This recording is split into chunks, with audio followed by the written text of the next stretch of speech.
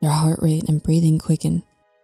Your skin feels hot, and all you can do is see red. We've all felt that seething anger bubble up inside us when we think about someone who has wronged us. Maybe it's a friend who betrayed your trust, a colleague who undermined or humiliated you at work, or a family member who hurt you deeply. Hatred is a powerful emotion, but what does it really do to us? Let's take a moment to explore the psychology behind hatred and how it affects us on a deeper level. The poison of resentment. When you hate someone, how often do you find yourself ruminating on what they did to you? How much mental and emotional energy do you spend reliving the pain and anger? It might feel satisfying at first, validating even, but over time, ruminating on your hatred can be corrosive to your mental health. Your brain becomes fixated on the negative experience, unable to let it go.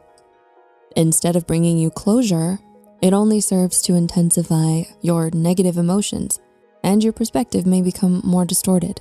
You might find it difficult to express joy or find peace as your mind is consumed with thoughts of revenge or retribution.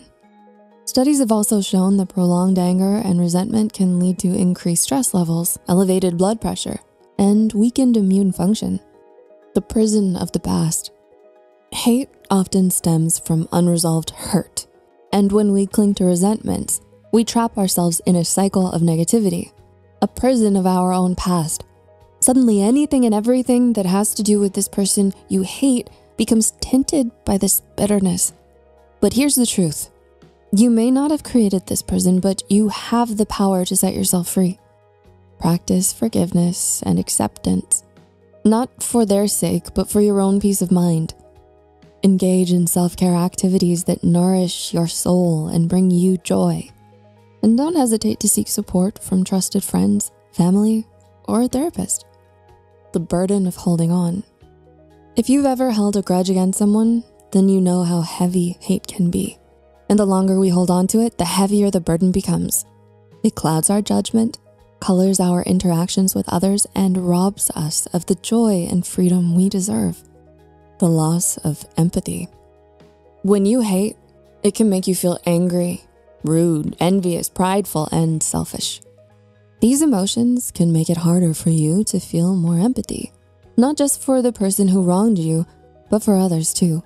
Your capacity for understanding and compassion shrinks as your resentment grows. You might find it difficult to relate to the struggles of friends or family members because your own grievances loom so large in your mind. Now, Understanding why someone hurt you doesn't justify their actions, but it might bring you some peace, closure, and clarity. Hurt people hurt people, after all. And when we hate, that bitterness stops being about what someone did to us and more about what we're doing to ourselves. The power of forgiveness. Now, we're not saying that forgiveness is easy. In fact, it's one of the hardest things we can do, especially when we've been deeply wounded. But forgiveness isn't about excusing the other person's actions or pretending like nothing happened. It's about freeing yourself from the chains of hatred and reclaiming your own power. Forgiveness is often touted as the antidote to hate, and for good reason. When we forgive, we release ourselves from the grip of negative emotions that can otherwise consume us. Psychologists like Jeremy Sutton and Lauren Toussaint have found that it reduces stress, anxiety, and depression, as well as improves relationships and overall well-being. By choosing forgiveness, we pave the way for healing, growth, and freedom. The path to empowerment. So, what can you do if you're struggling with hatred and resentment? Ultimately, the journey from hate to love is a personal one that requires you to look inside yourself, open your mind, and let go of your ego. It's not always easy and it certainly isn't quick, but it's worth every step of the way. In the words of Haruki Murakami, pain is inevitable, but suffering is optional. So take a moment to reflect. What kind of life do you want to lead? One filled with bitterness and resentment? Or one filled with love and resilience. Your journey toward healing begins with a single step, a choice to let go of the hatred that binds you and embrace the freedom that forgiveness brings. If you found this video valuable, we invite you to like, share, and subscribe to our community for more insightful content like nine uncomfortable signs you're healing emotionally.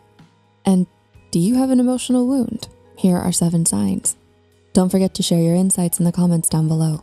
Thanks for watching.